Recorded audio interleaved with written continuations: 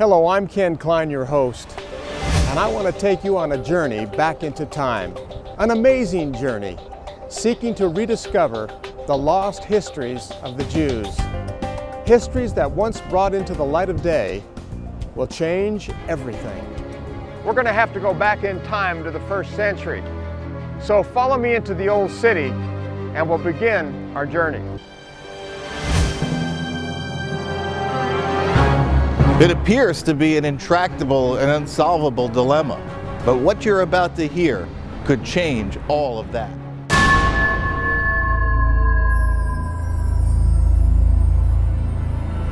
In order to recreate historic moments in time, there is tremendous need to have accurate information. They call this the Old City, and you can very easily make that mistake, but this is really the new Old City the old Old City was 500 years younger than this part of town.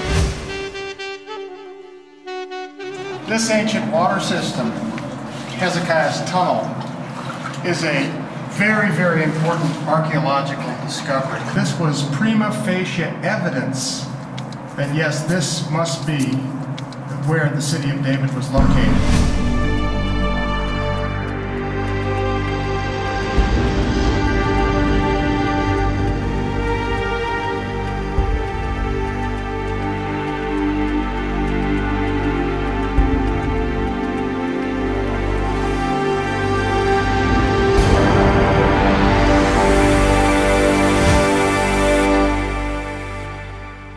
That's where you would build a temple. That's where I would build a temple. That's where David and Solomon built a temple.